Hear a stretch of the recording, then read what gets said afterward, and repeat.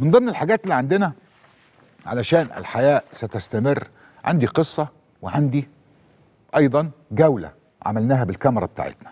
القصة حصلت ودي قصة إنسانية جدا في مستشفى أسوان بتاعت أول مصاب آه، يستخدم البلازما في علاجه.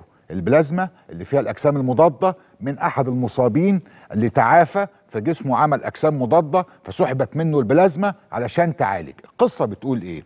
قصة بتقول إن القمص بشوي في أسوان تعب ودخل في مرحلة متقدمة جدا من المرض فنقل إلى مستشفى أسوان التخصصي عشان يعمل حجر صحي في آخر شهر أبريل الماضي ابن أبونا بشوي دكتور مصري مشهور وموجود في قسم عناية العناية المركزة للحالات ال ال الكورونا الصعبة والحرجة في الولايات المتحدة الأمريكية. يعني الولد دكتور بيعالج الناس الحالات الحرجة في مستشفى في أمريكا وأبوه موجود في مستشفى أسوان بيعالج وحالته حرجة. تواصل الابن مع الأطباء في مستشفى أسوان وقال لهم يا جماعة إحنا بدأنا نجرب البلازما والأجسام المضادة من شخص تعافى من الكورونا. ما تحاولوا تجيبوا لوالدي البلازما وتحقنوه بيها. الدنيا اتقلبت في أسوان ووصلوا إلى محمد عبد الفتاح.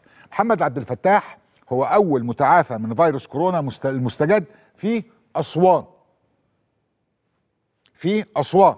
ألو أستاذ محمد بعد إذن حضرتك أبونا بشوي عندنا وإحنا محتاجين منك الدم علشان ناخد البلازما ونعالج أبونا بشوي تبرع محمد بالبلازما تم حقن ابونا بشوي وتم شفاء ابونا بشوي بسبب الدم بتاع محمد والبلازما بتاعت محمد وبسبب نصيحة ابنه اللي موجود في الولايات المتحدة الأمريكية علشان تنطلق نفس الحكاية ونفس البصمة إلى العالم كله والدنيا كلها بتشتغل بهذا النظام الآن.